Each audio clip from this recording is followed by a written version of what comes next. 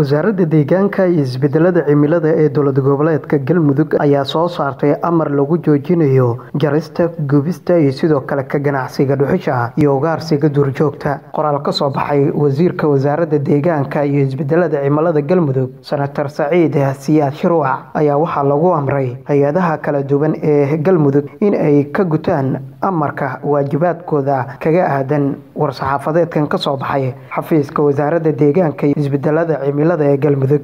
War-saxaafadeedkan oo nuqul ka mid ah soo gaaray warqabadka telefishinka Carlson TV ayaa waxa uu dhignaa sida tan: ko Dhammaan guddoomiyaasha degmooyinka Galmudug. ko Dhammaan taliyeyaasha booliiska Galmudug. og Taliyaha qaybta booliiska gobolka Galgaduud. og Taliyaha qaybta booliiska gobolka Mudug. og Guddoomiyaasha gobollada Mudug iyo Galgaduud. og Xeer Ilaaliyaha Guud ee Dowlad Goboleedka Galmudug. og Madaxweynaha Dowlad Goboleedka Galmudug. Ujeedo: Dhaqangelinta sharciga maaraynta deegaanka ee Galmudug.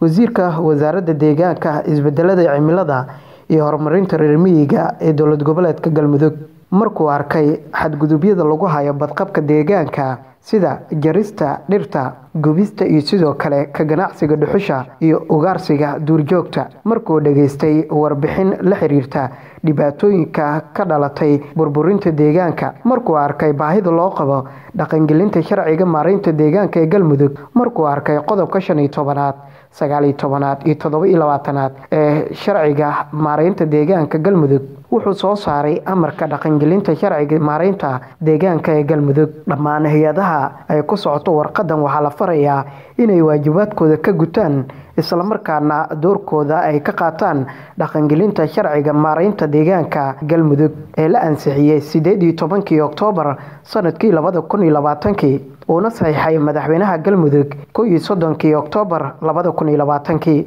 Waxaana la farayaa laamaha fulinta warqaddani ay ku socoto in laga bilaabo shanta bisha tobnaad labada kun iyo kow iyo labaatanka oo maanta ku beegan cid kasta ee ku soo xadgudubta kheyraadka deegaanka sida jarista, gubista, ka ganacsiga dhuxusha iyo ugaarsiga duurjoogta inay qabtaan isla markaana ay horgeeyaan sharciga.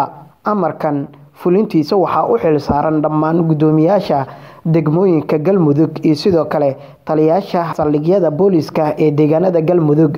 Warqaddan ayaa waxa ay ka soo baxday xafiiska Wasiirka Wasaaradda Deegaanka, Isbeddelka Cimilada iyo Horumarinta Reer Miyiga ee Dowlad Goboleedka Galmudug.